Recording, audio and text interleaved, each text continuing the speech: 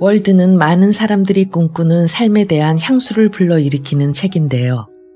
법정 스님, 톨스토이, 간디, 마틴 루터 킹이 사랑한 인생 고전이기도 합니다. 헨리 데이비드 소로는 월든 호수 옆에 직접 오두막을 짓고 숲속 생활에 들어가 2년 2개월 동안 매일 일기를 쓰고 자연을 관조하며 직접 생활을 해결해 나갔습니다. 월든 호스가에서의 생활을 기록한 월드는 현대지성 출판사의 책으로 읽어나가면서 부분 부분 발췌해 낭독했습니다. 이번에 낭독한 챕터는 1장 생활경제와 2장 내가 살았던 곳과 그렇게 살았던 이유인데요. 훗날 또 남은 부분을 발췌 낭독하며 월든 낭독을 이어가려고 합니다. 또 현대지성사의 월든 시민불복종은 66장의 월든 풍경사진과 더불어 헨리 데이비소로의 다른 글 시민 불복종도 함께 수록되어 있어 그의 정신세계를 한층 더 깊이 이해할 수 있어 좋은 것 같습니다.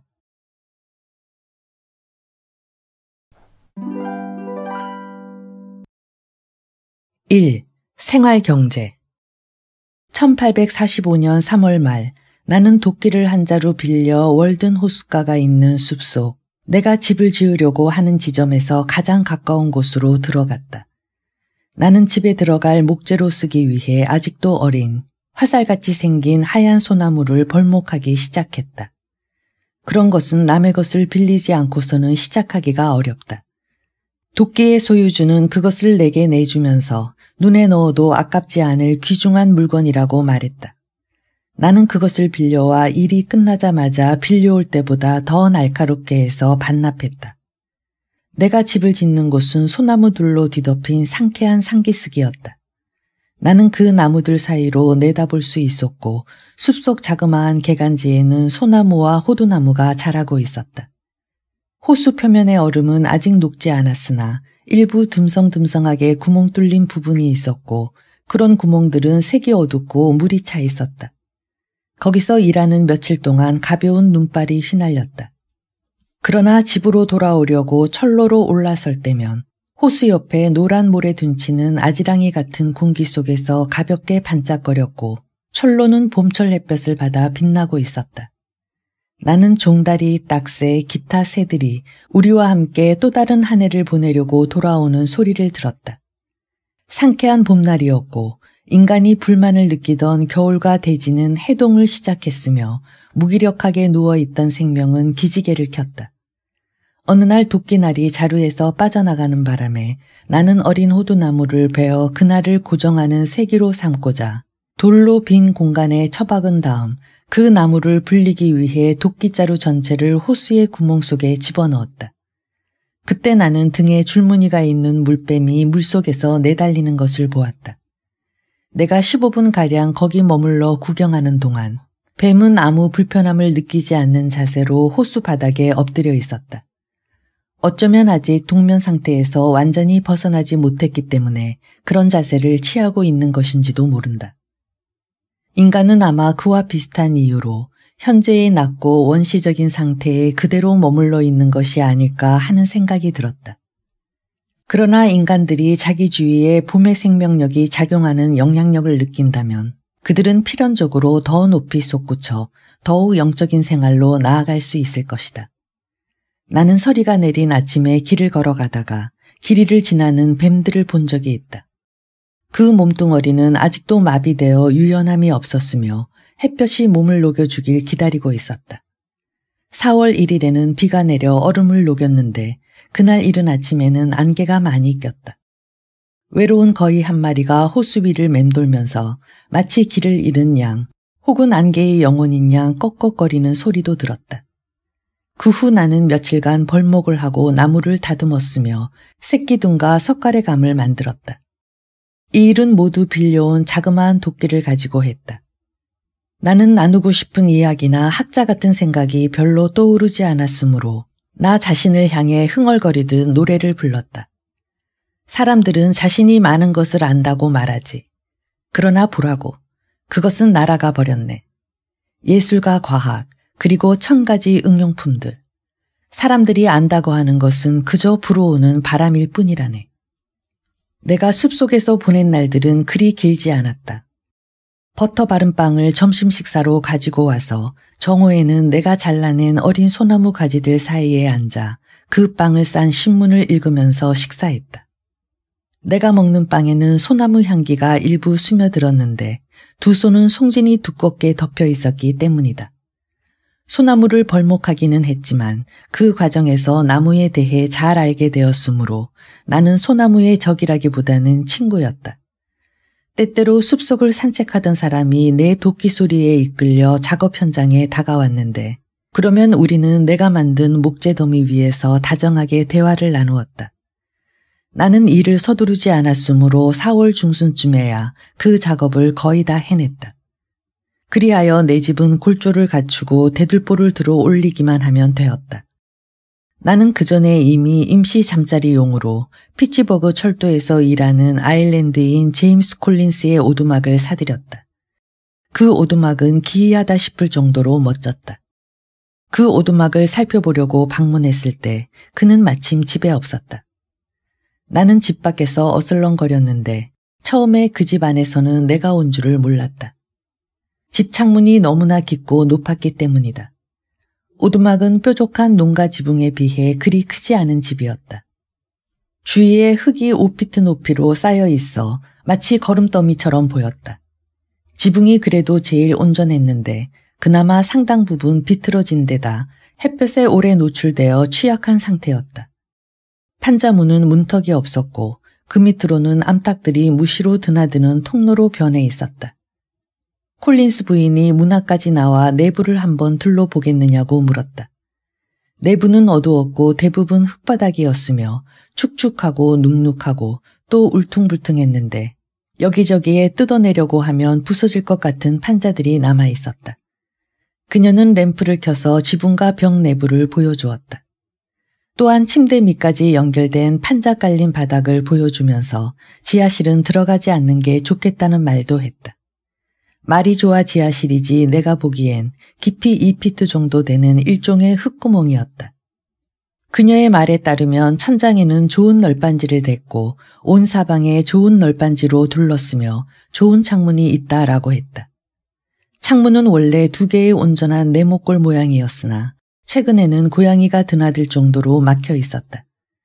방 안에는 난로, 침대, 앉을 자리 한 곳, 그곳에서 태어난 듯한 갓난 아이, 테를 도구만 거울, 어린 참나무에 못으로 걸어놓은 최신형 커피 분쇄기 등이 전부였다. 그동안 제임스가 돌아와서 흥정은 곧 끝났다. 나는 그날 밤에 4달러 25센트를 지불하고 그는 내일 아침 5시에 집을 비워주되 그동안 남에게 팔아서는 안 되는 것으로 합의했다. 나는 내일 아침 6시에 그 오두막을 인수할 예정이었다. 다음 날 6시에 나는 길 위에서 그의 가족을 지나쳤다. 커다란 짐꾸러미 하나에 그들의 모든 재산이 다 들어가 있었는데 창문을 빠져나가는 고양이는 없었다. 나중에 알았는데 그 고양이는 우두척을 잡기 위해 놓은 덫에 걸려 결국 죽고 말았다. 나는 그날 아침에 이 오두막을 해체하여 못을 뽑았고 작은 수레를 이용해 호스 옆으로 판자들을 가져왔다. 우선 햇볕에 판자들을 표백하고 말리려고 풀이에 펼쳐놓았다. 수레를 끌고 숲속길을 가는데 일찍 일어난 개똥 집바퀴가 한두 곡조 노래를 불러주었다. 나는 어린 패드릭에게 이런 고자질을 받았다. 이웃에 사는 아일랜드인 실리가 내가 수레로 판자를 운송하는 사이사이에 아직도 쓸만한 곱게 펴진 작은 못, 고리못, 대못 등을 슬쩍해서 자기 호주머니에 집어넣었다는 것이다. 그리고 내가 현장에 돌아오면 가만히 멈춰서서 딴청을 피우면서 머릿속에는 봄날 생각이 가득한 채 그 허물어진 집터를 쳐다보는 척했다. 그의 말로는 할 일이 별로 없어 그렇다는 것이었다. 말하자면 그는 구경꾼의 대표 자격으로 거기 나와 이 겉보기에 별 볼 일 없는 사건을 트로이에서 신상을 옮기는 작업 비슷한 것으로 만들어주고 있었다. 나는 상기승 남면, 이전에 우두척이 토구를 파놓았던 자리를 좀 더 깊게 파서 지하실을 만들었다. 그것은 두 시간 작업일 뿐이었다. 나는 땅을 파면서 특별한 즐거움을 느꼈다. 이 세상 어디에서나 인간은 일정한 기운을 얻기 위해 땅을 파고 있기 때문이다. 도시에 있는 가장 멋진 집에도 여전히 지하실이 있고 거기에 예전처럼 뿌리 채소를 보관한다. 지하실 위에 서 있던 집들이 사라진 후에도 후손은 땅속에 파놓은 그 흔적을 발견한다. 그러니 집은 여전히 토굴 입구에 있는 일종의 현관 같은 것이다. 마침내 5월 초에 실제적 필요가 있어서라기보다는 이웃과의 유대관계를 돈독하게 하려는 몇몇 지인의 도움을 받아 내 집의 골격을 세우게 되었다. 집을 올리고서 그 일에 대해 나처럼 명예롭게 생각하는 사람은 없으리라. 내 이웃에 관해서는 장래 어느 날 그보다 더 웅장한 구조물을 올리는데 도움을 줄 운명이라고 생각했다. 나는 집 옆면에 판자되는 작업과 지붕 작업이 끝나자마자 7월 4일에 입주했다. 판자는 가장자리를 얇게 깎아내고 겹쳐 만든 것이었으므로 완벽한 방수 기능을 갖추었다. 하지만 판자 작업을 하기 전에 한쪽 구석에 먼저 굴뚝의 기초를 놓았다. 호수 위쪽 언덕에서 네 양팔로 돌들을 실어 왔는데 분량은 술의 두 대분 정도였다. 난방이 필요한 겨울이 오기 전에 가을철 괭이질이 끝난 후에 굴뚝을 설치했다. 그전에는 이른 아침 실의 땅바닥에서 취사했다. 이런 한 대의 밥 짓기가 통상적인 취사보다는 여러모로 더 편리하고 유쾌하다는 생각이다. 빵이 다 구워지기 전에 비가 오면 나는 모닥불 위에 판자 몇 개를 얹어놓고 그 밑에 앉아 빵을 쳐다보면서 즐거운 몇 시간을 보냈다. 그 당시 일손이 바빠 글을 별로 읽지 못했다. 그러나 나의 보관 용기이며 식탁 보이기도 한 땅바닥에 펼쳐놓은 신문지들은 내게 아주 큰 오락을 제공했다. 그것은 호메로스의 일리아스를 읽는 것만큼 즐거운 일이었다. 인간이 자기 두 손으로 손수 집을 짓고 그 다음에는 소박하고 정직한 노동으로 자신과 가족에게 음식을 제공한다면 거기에는 시적인 능력이 보편적으로 발달한다. 보라, 새들은 둥지를 지을 때 노래를 부르지 않는가. 하지만 슬프다. 우리 인간은 찌르레기와 뻐꾸기 같은 짓을 하고 있다. 이들은 다른 새들이 지어놓은 둥지에 알을 까고서 수다스럽고 음악적이지 않은 노래까지 불러 여행자의 귀를 전혀 즐겁게 하지 못한다. 집짓기의 즐거움을 언제까지나 목수에게만 맡겨야 할까? 대부분 사람의 체험에서 건축은 도대체 무슨 의미인가? 무수히 산책을 해보았지만 길에서 자기 집을 직접 짓는 간단하고 자연스러운 일에 몰두하는 진지한 사람을 본 적이 없었다. 우리는 공동체에 속해 있다.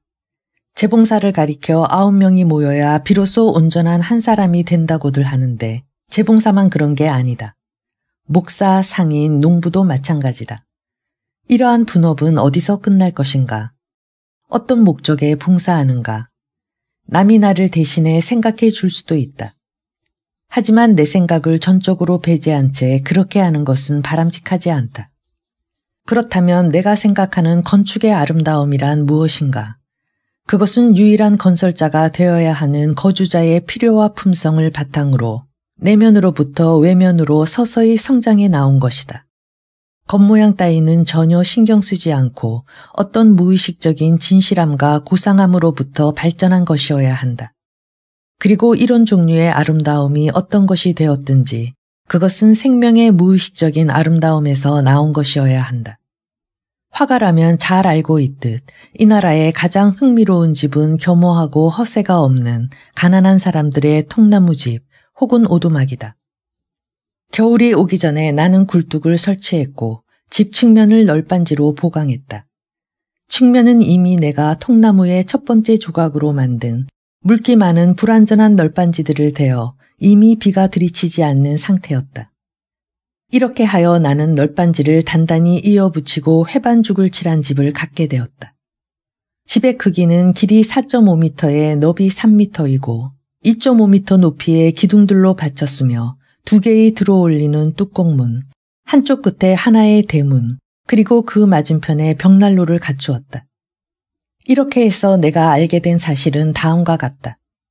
자기 집을 얻길 원하는 학생은 자신이 지불하는 1년 임차료보다 많지 않은 돈으로 평생 사용할 수 있는 집을 지을 수 있다는 것이다.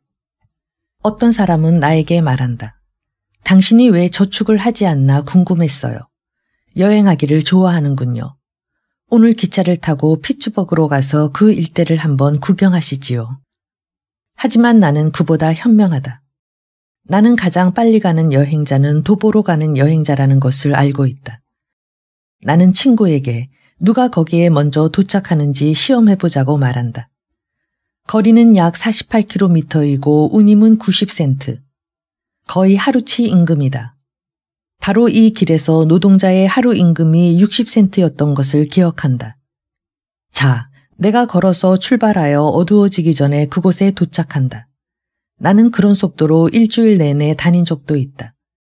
반면 당신은 오늘 하루 자기 운임을 벌고 내일 어느 때 혹은 오늘 저녁이면 거기 도착할 것이다. 운 좋게 하루 일거리를 잡았을 때 그렇다는 말이다. 그렇다면 피츠버그에 도착하는 것이 아니라 여기에서 거의 온종일 일을 해야 한다. 그래서 설사 철도가 온 세상에 있다 해도 나는 당신보다 더 앞서 나갈 수 있다. 주변 경치를 구경하고 거기서 경험을 쌓은 일로 말하자면 서로 교제가 되지 않을 정도로 나는 앞서 있을 것이다. 이것이 그 누구도 거스릴 수 없는 보편 법칙이다. 이처럼 인생의 가장 좋은 시기를 돈 버느라고 다 보내고 나서 가장 가치 없는 시기에 의심스러운 자유를 누리겠다고 하는 것은 어떤 영국인의 에피소드를 생각나게 하지 않는가. 그는 먼저 돈을 벌기 위해 인도로 갔다. 나중에 영국으로 돌아와 시인의 삶을 살기 위해서였다. 그러나 그는 인도로 갈 게 아니라 지금 당장 다락방으로 올라가 시를 썼어야 마땅했다. 집 짓기를 마치기 전에 나는 정직하고 유쾌한 방법으로 10달러에서 12달러를 벌고 싶었다. 나의 비상 지출을 감당하기 위해서였다. 나는 모래 많은 집 주위 얕은 땅 약 2.5에이커에 주로 콩을 심었고 그 외에 감자, 옥수수, 완두, 순무 등을 소규모로 심었다. 전체 부지는 약 11에이커인데 대부분 소나무와 호두나무가 자라고 있었다. 이 땅은 지난 계절에 에이커당 8달러 8센트에 팔렸다. 한 농부는 이 땅에 다람쥐나 키우면 모를까 별로 쓸모가 없는 땅이다 라고 말했다. 나는 이 땅의 주인이 아니라 임시 거주자였으므로 땅에 걸음을 주지 않았다. 또 농사를 많이 할 생각도 아니었기에 김매기도 그리 열심히 하지 않았다. 밭을 갈 때 나무 뿌리를 여러 척 캐내 그놈을 한동안 땔감으로 썼다. 그렇게 뿌리를 파는 곳에는 둥그렇게 자그마한 웅덩이가 생겼는데 거기에 강낭콩이 풍성하게 자라 여름 내내 밭의 다른 부분과는 확연히 구분되었다.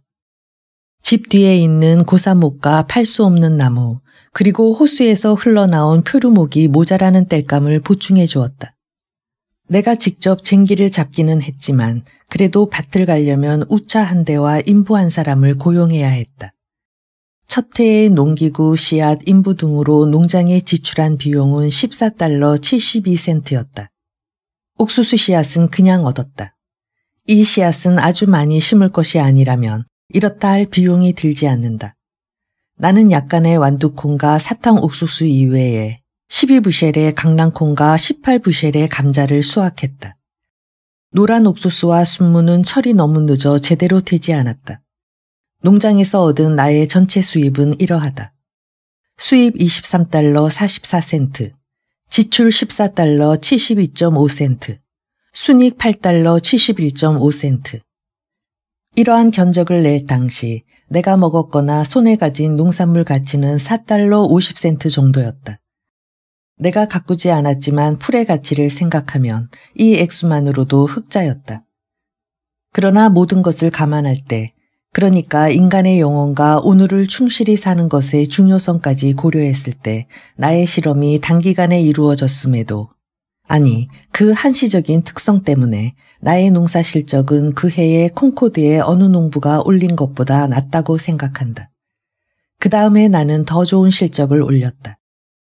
내가 농사 지을 땅은 3분의 1 에이커 정도였는데 그 땅을 모두 가래로 갈아엎었다.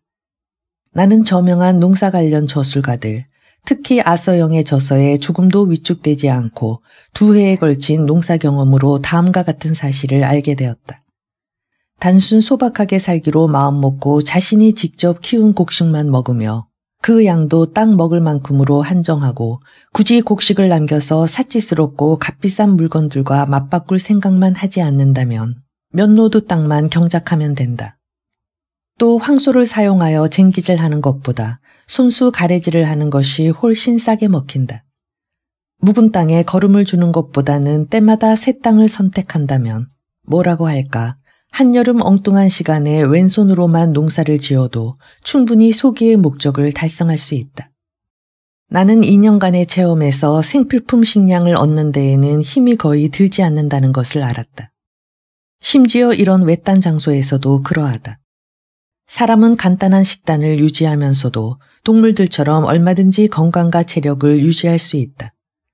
나는 옥수수 밭에서 따온 세비름을 삶아 소금을 쳐서 먹는 것만으로도 만족한 저녁 식사를 했고 이것은 여러모로 만족스러웠다. 합리적인 사람이라면 평화로운 때 보통의 점심 식사에서 옥수수를 여러 개 충분히 삶아 소금을 쳐먹으면 되었지 그 이상 무엇을 바라겠는가. 내가 융통을 부린 약간의 다른 음식은 건강상의 요구에 응한 것이 아니라 식욕의 요구에 굴복했기 때문이다. 그러나 요즘 사람들은 굶주리는 지경까지 도달했다. 생필품이 없어서가 아니라 사치품이 없으므로 안 먹는 것이다. 나는 처음에 순수한 옥수수 가루와 소금만으로 진짜 옥수수 가루빵을 만들었다. 먼저 집 밖에 불을 피워놓고 판자 위에 혹은 집을 짓다가 토막난 나무 조각 끝에 빵을 올려놓고 구웠다. 하지만 빵은 연기에 그을려 소나무 냄새가 났다. 밀가루도 시험해 보았다. 하지만 호밀과 옥수수 가루를 섞어 만드는 것이 가장 편리하고 맛 좋다는 것을 발견했다. 추운 날씨에 실내에서 이런 자그마한 빵을 연속해서 구우면서 마치 이집트인이 계란을 부화시키듯 그 빵들을 보살피고 뒤집는 일에는 적지 않은 즐거움이 있었다. 그 빵들은 내가 숙성시킨 진정한 곡류 과일이었고 내 오감에 다른 고상한 과일 같은 향기를 풍겼다.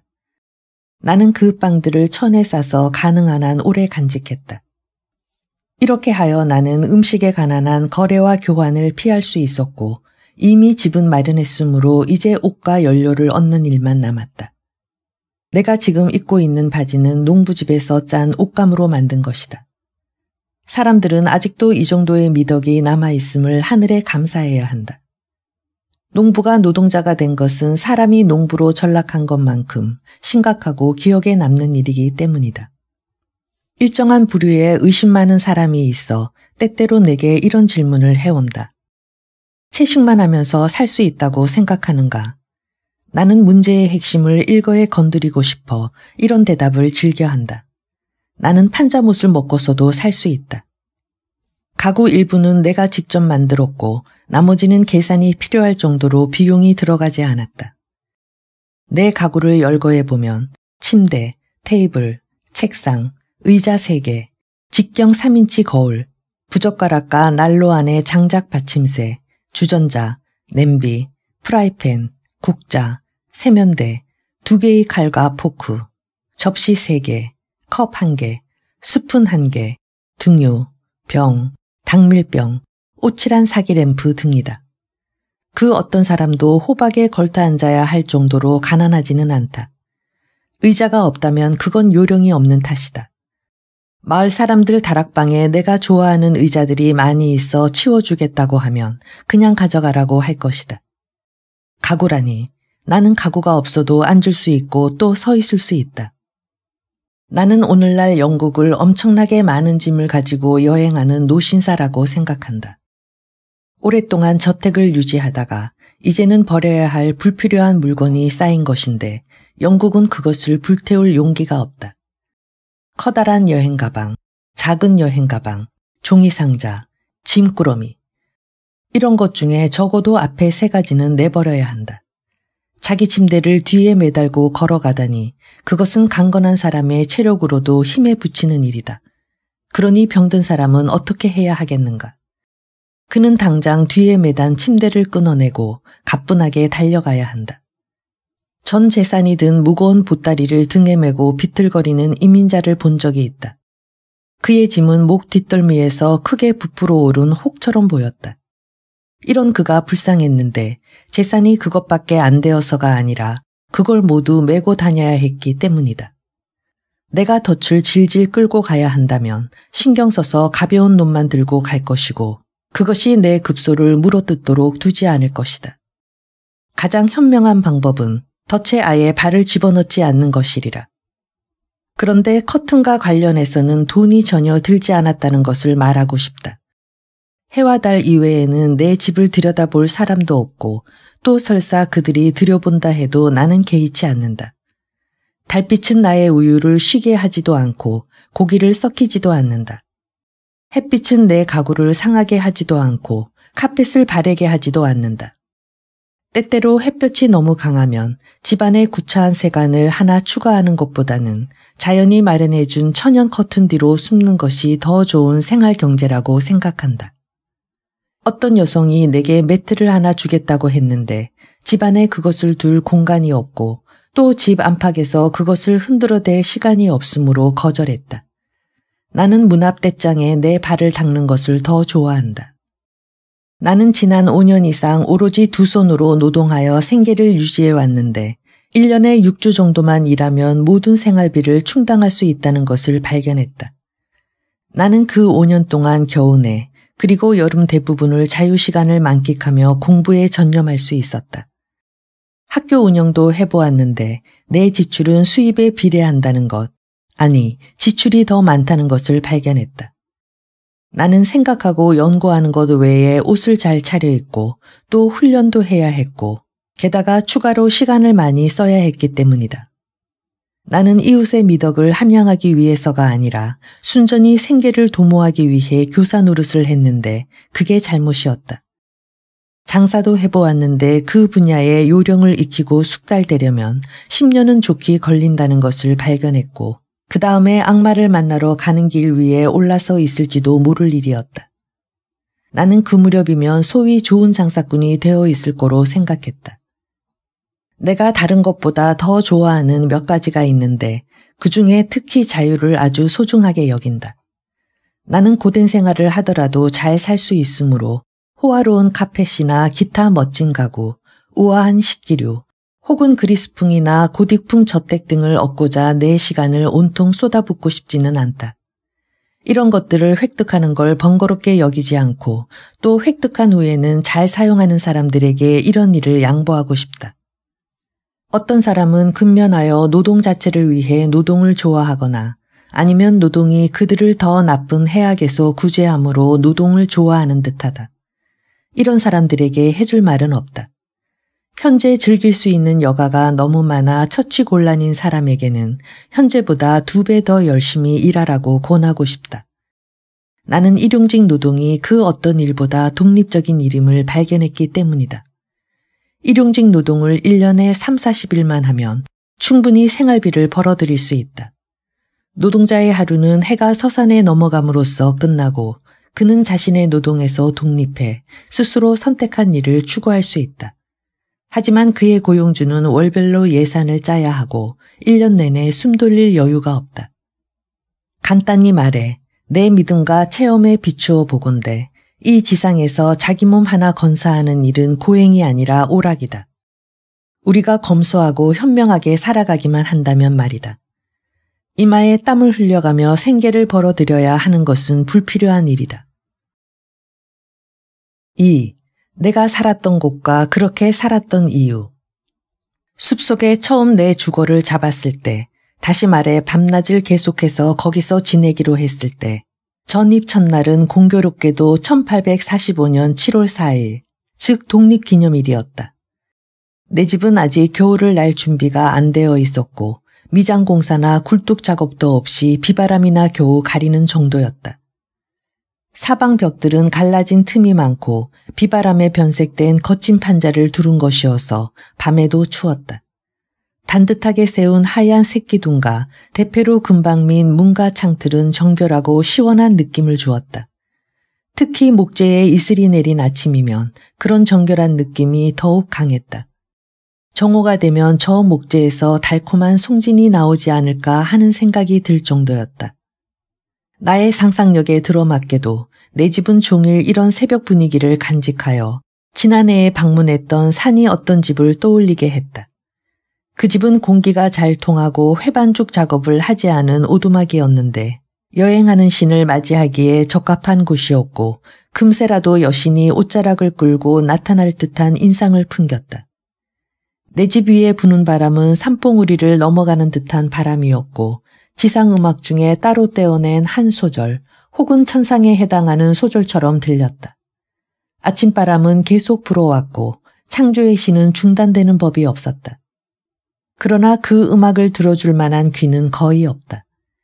신들의 저소 올림푸스 산은 이 속세를 떠난 곳이라면 어디에든 있다. 보트를 제외한다면 내가 전에 소유했던 유일한 집은 천막이었다. 여름에 여행을 떠날 때면 나는 가끔 그 천막을 사용했다. 이 천막은 아직도 돌돌 말린 채 다락방에 들어가 있다. 그러나 보트는 이 손 저 손을 거쳐가다가 시간의 급류를 타고 사라졌다. 하지만 이제 좀 더 단단한 주거를 갖추었으므로 나는 이 세상에 정착하는데 지인일보한 셈이다. 이 집은 치장이 다소 빈약하긴 하나 주위에서 벌어진 일종의 결정 작업이고 그리하여 그 집을 지은 사람에게 반응한다. 이 집은 뭐라고 할까? 윤곽만 그려진 그림처럼 암시적이다. 나는 바람을 쐬기 위해 밖으로 나갈 필요가 없다. 실내의 공기가 바깥의 신선함을 전혀 잃지 않았기 때문이다. 실내에 있다기보다는 그저 문 뒤에 앉아 있었다고 하는 게 맞는 말일 텐데 심지어 비가 많이 오는 날씨에도 그러하다. 하리 반사는 이렇게 말했다. 새들이 없는 거처는 양념이 없는 고기와 비슷하다. 나의 집은 그런 상태는 아니었다. 내가 갑자기 새들의 이웃이 되었기 때문이다. 새를 한 마리 조롱에 넣어 두었다는 얘기가 아니라 나 자신을 그 새들 주위에 가두어 두었다는 뜻이다. 나는 정원과 가수원에 자주 날아오는 새들에게 가까이 다가갔고 좀 더 야성적이고 매혹적인 숲속 노래꾼들과도 버텼다. 나는 자그마한 호숫가에 자리 잡았는데 콩코드 마을에서 남쪽으로 약 1.5마일 떨어진 지점으로 마을보다 약간 지대가 높은 곳이다. 또한 콩코드와 링컨 사이에 있는 광활한 숲 한가운데 있으며 독립전쟁의 주변 전투지에서 유일하게 유명해진 콩코드 전장에서 남쪽으로 약 2마일 떨어진 지점이다. 그러나 내 집은 숲속에서도 낮은 지역에 있었고 반마일 정도 떨어진 산림 울창한 호수 반대편이 가장 멀리 떨어진 지평선이다. 처음 일주일 동안은 호수를 쳐다볼 때마다 높은 산 측면에 있는 산중호수 같다는 인상을 받았다. 그 호수의 바닥은 다른 호수들의 수면보다 훨씬 높은 곳에 있는 것 같았다. 태양이 떠오르면 호수는 밤새 입었던 안개옷을 내던졌다. 호면 여기저기에서 부드러운 잔물결과 모든 것을 잔잔하게 비추는 표면이 드러났다.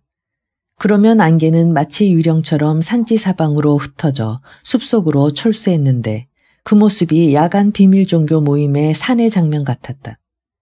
나무에 매달려 있던 이슬은 마치 산 측면에 있는 것처럼 평소보다 더 오래 버티면서 한낮이 될 때까지 매달려 있었다. 이 자그마한 호수는 8월 들어 비바람이 불어오는 사이사이에 정다운 이웃으로서 큰 가치가 있었다. 8월엔 공기와 물이 아주 고요했으나 하늘은 흐려 있어 오후 한나절이 되면 마치 저녁이 온 것처럼 고즈넉했고 개똥지 바퀴가 요란하게 울어대어 그 노랫가락이 호수 이쪽에서 저쪽까지 울려 퍼졌다. 이런 호수는 바로 그런 때 아주 잔잔했다.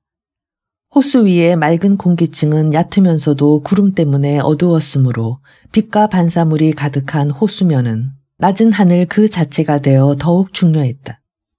집의 문에서 내다보는 경관은 한결 축소된 것이지만 비좁거나 갑갑하다는 느낌은 들지 않았다. 내가 상상할 수 있는 목초지는 얼마든지 있었다.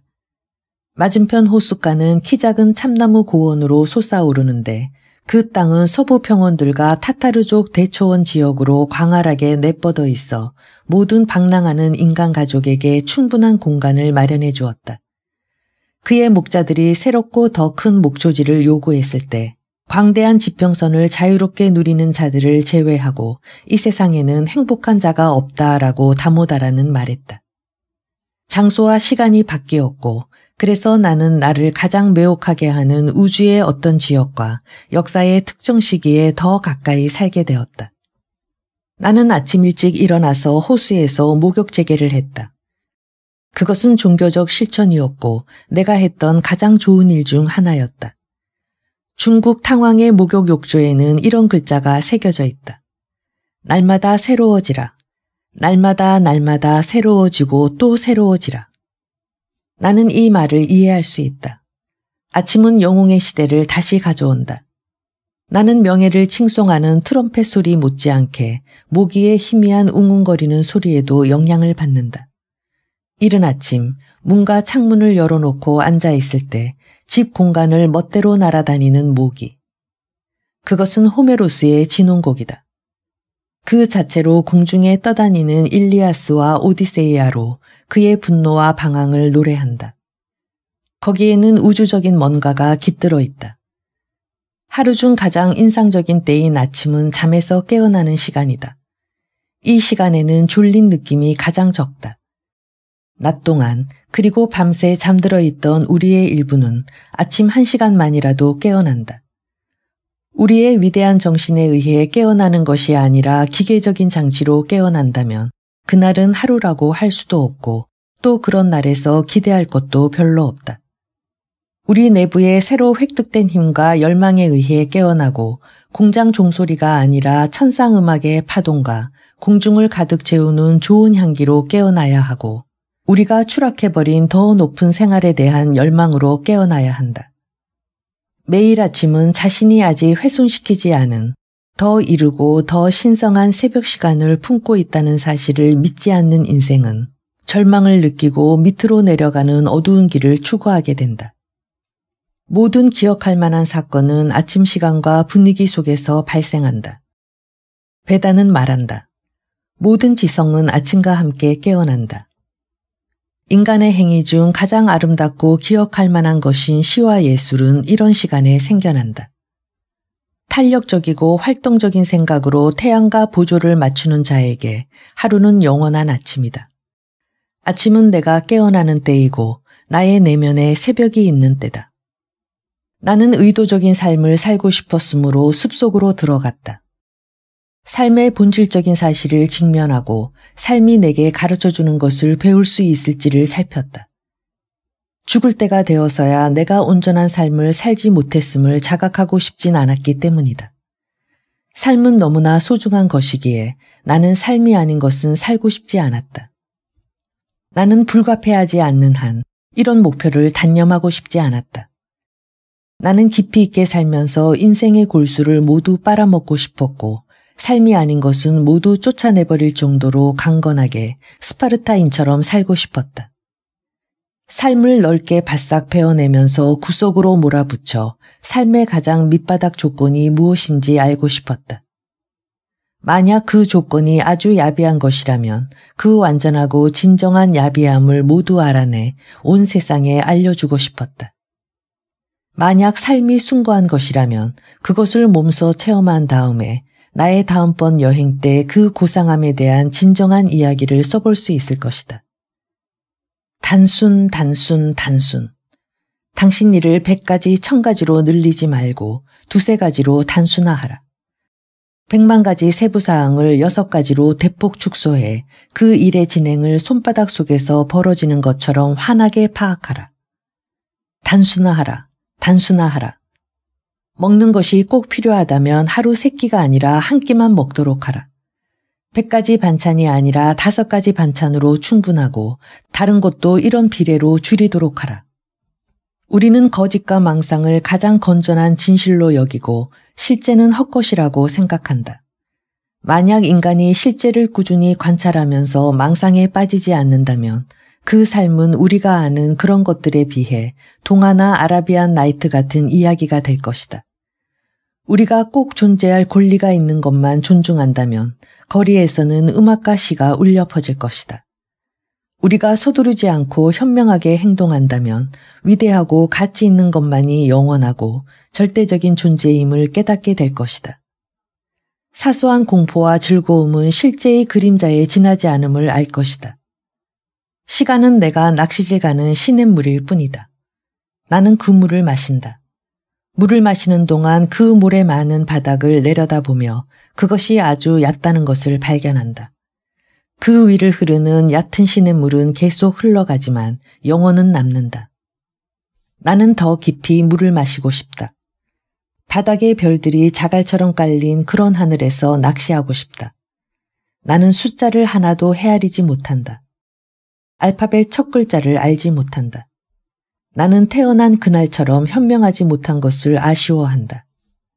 지성은 배워내는 자이다. 그것은 사물을 배워내고 분간하면서 사물의 비밀 속으로 들어간다. 나는 필요한 것 이상으로 내 두 손을 바쁘게 놀리고 싶지 않다. 내 머리는 손이요 발이다. 나의 모든 신체 기능이 머리로 집중됨을 느낀다.